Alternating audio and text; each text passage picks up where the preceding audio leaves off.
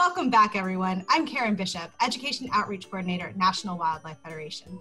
Today, Theresa Edwards, the Resource Specialist at Government Canyon State Natural Area, will walk us through thinking like a scientist. Theresa, if nature is everywhere, even in a place like your refrigerator, do we need to protect it?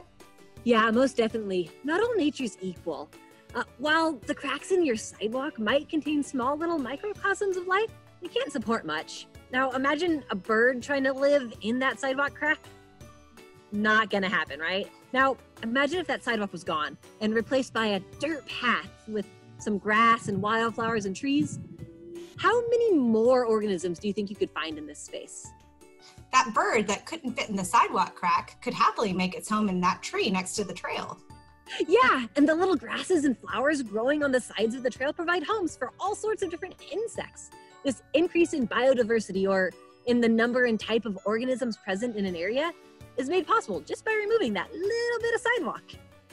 Now, imagine what would happen if we removed all of the roads and houses and cars and all of the other human things from around the area, too. How much more biodiversity might we see?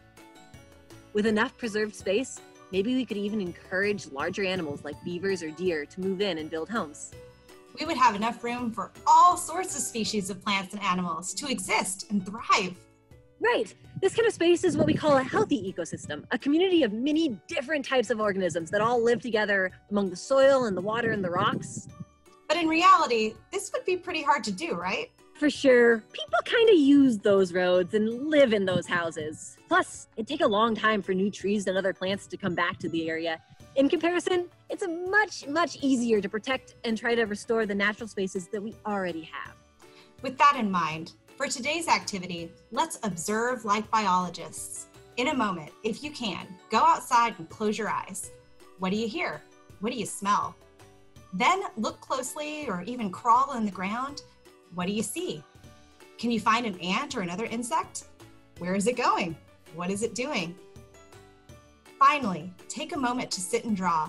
Try to scribble out as many details as possible of the wildlife you see. Thanks, everyone. Bye, guys.